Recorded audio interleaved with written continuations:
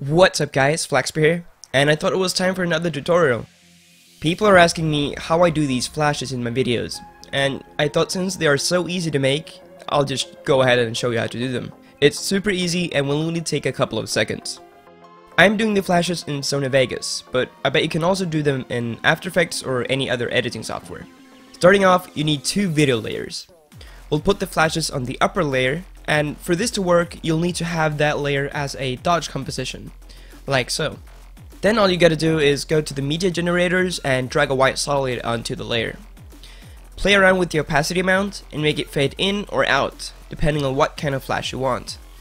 And that's really it for the flashes really. And if you don't have the media generators window, make sure media generator is checked under the view tab.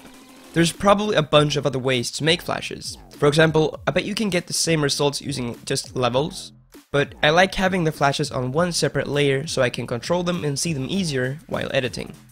I hope this short tutorial was helpful. if you need any help, just let me know in the comments as usual. Don't forget to check out my Facebook, Twitter and Twitch, and I will see you in my next video. Bye.